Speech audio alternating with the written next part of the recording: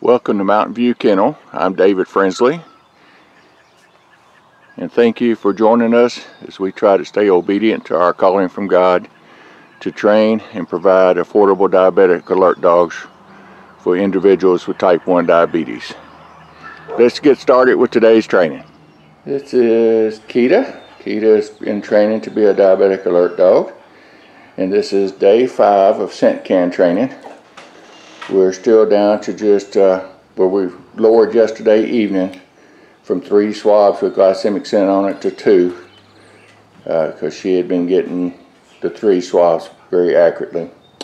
So now we're going to work with her again on, this is our second se training session on just two glycemic, low glycemic swabs in it.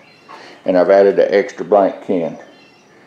Uh, one of the blank cans, uh, the B was almost off of it, marking it, so I had to remark it, so that may distract her a little bit.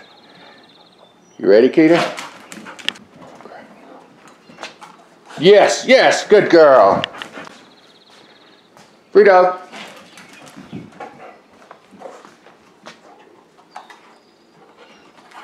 Yes, good girl. Round three. Keta, free dog.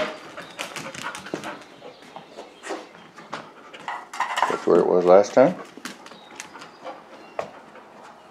Yes, yes, good girl. This is the fifth round, I believe. So far, she's only pawing at the blank that was in the spot where the low glycemic scent was the time before, which shows us she's using her memory instead of her nose. Let's see if we can get her to stop that, hopefully with this one. Keta, free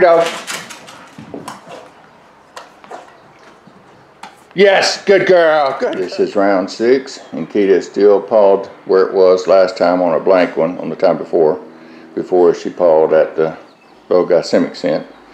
This may have a little bit to do with the lower amount of scent we've got in the cans and the residual odor that's still in that spot when we move it.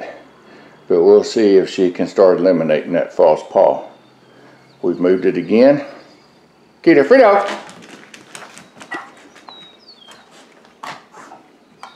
Yes, good girl. Good.